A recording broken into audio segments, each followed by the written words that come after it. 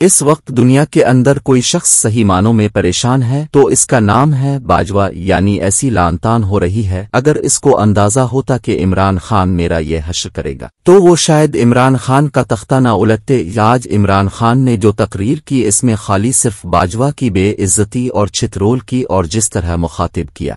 किसी ने बाजवा को ये वीडियो भेज दी है, उन्होंने ये तकरीर सुनी, और उसके बाद जो वो बरहम हो रहे हैं जो जावेद चौधरी को बुरा भला कह रहे हैं। जावेद चौधरी ने असल में जो कॉलम लिखा है, वो बाजवा की मर्ज़ी से लिखा है। वो कॉलम लिखते हैं, बनाते भेजते हैं बाजवा को, और बाजवा इसे ओके करता है, फिर वो छाप देता है। अब कौन सी ऐसी इमरान खान की तकरीर है, जिस पर जनरल कमर जावेद, बाजवा जावेद चौधरी को कोस रहे हैं? कि तुमने मेरा इतना बेड़ा गर्क किया है कि अब मैं मजीद जलील हो रहा हूँ। क्योंकि इमरान खान ने अब नया मुवक्फ बनाया है उन्होंने एक इंटरव्यू के अंदर क्लियरली कहा, उन्होंने कहा कि बाजवा ने असल में मेरी हुकूमत गिराई है, नाम अमेरिका का कर दिया। बाजवा ने साजिशी मंसूबा यहाँ से बना के भेजा और अमेरिका ने इस पर अमल किया। इमरान खान की आज की तकरीर का कौन सा हिस्सा था जिसने बाजवा को आग बगूला किया? आर्मी चीफ ने, एक्स आर्मी चीफ ने बातें की। सबसे पहले तो मैं, मुझे हैरत हुई कि उसने कहा, जी, इमरान खान मुल्क को तबाही की तरफ़ लेके जा रहा था। मैंने इमरान खान से मुल्क को बचाना था। तो तस्लीम कर लिया कि उसने फैसला किया था गवर्नमेंट गिराने का, जो मैं और सारी कौम को वैसे ही पता है। लोगों को तो अब सोशल मीडिया का ज़माना है। वो आखिरी रात जिस दिन वो, मैंने कहा था कि कोई रह तो नहीं गया तो उस दिन रात को तो सब कौम को पता चल गया था कि कौन था पीछे इसके। वो अरशद शरीफ शहीद ने बड़ी ज़बरदस्त बात की, वो कौन था? तो तो सबको पता था वो कौन था।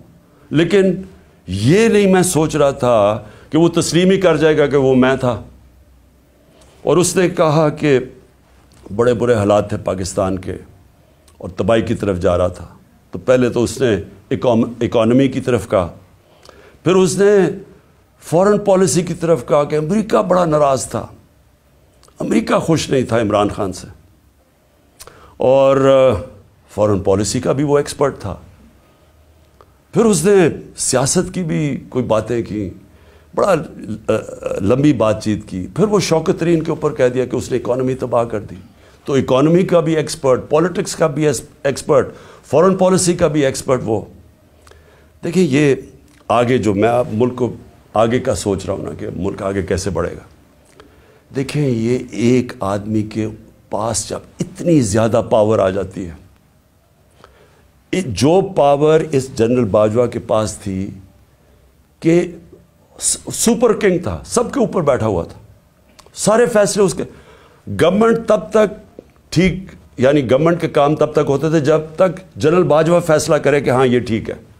लेकिन अगर मैं, इमरान खान कह रहा है कि इस मुल्क में एहतसाब होना चाहिए, जो तीस साल से मुल्क को चोरी कर रहे थे, जिनके पुराने केसेस बने हुए हैं सवाए शबाज शरीफ के दो टीटी केस और वो जो उसका एफ़ आई में मकसूद चपड़ासी वाला केस था, सोलह अरब का और टीटी का आठ अरब, जो ओपन एंड शॉर्ट केसेस थे, उनके अलावा तो सारे पुराने केसेस थे।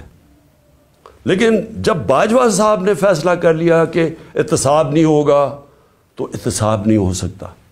क्योंकि उसने उस पर तस्लीम भी कर दिया कि नैब को भी वो कंट्रोल करते थे। सो नैब भी उनके हाथ में थी।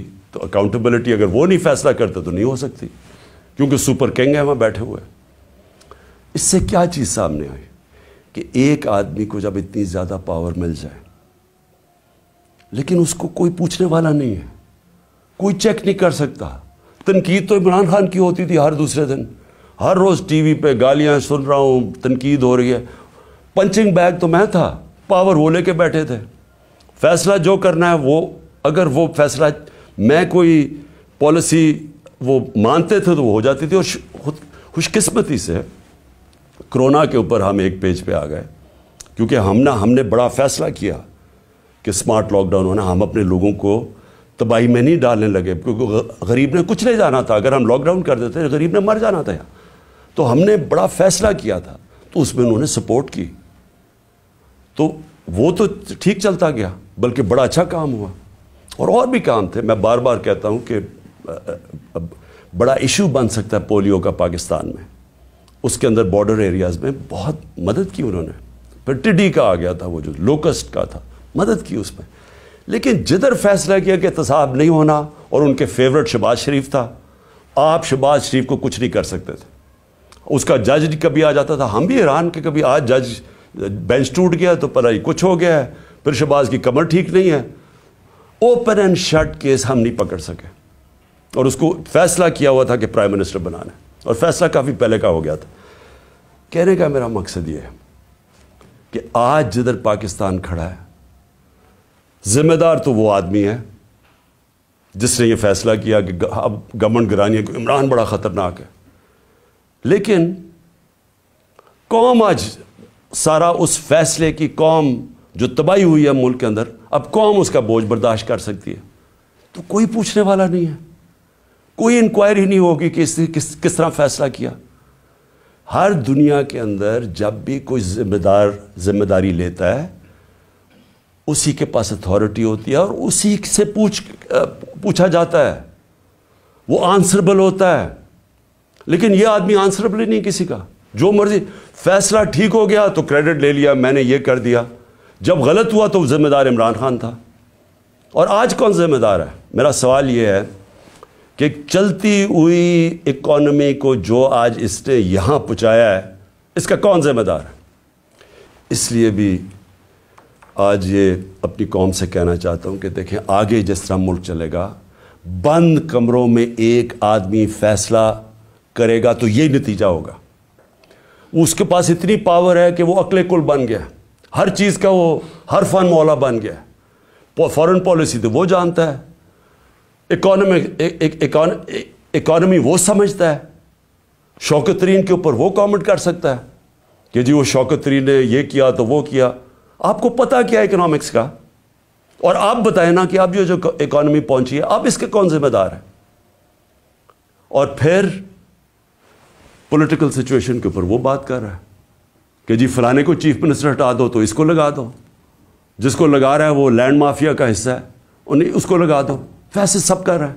लेकिन ज़िम्मेदारी कोई नहीं है। ज़िम्मेदारी इमरान खान की है, जो कि पंचिंग बैग बना हुआ था। तो पहले तो पाकिस्तान ने जो आगे बढ़ना है, ये इसके ऊपर हमें सोचना पड़ेगा कि ऐसे मुल्क, पाकिस्तान या कोई और मुल्क ऐसे आगे नहीं चल सकता।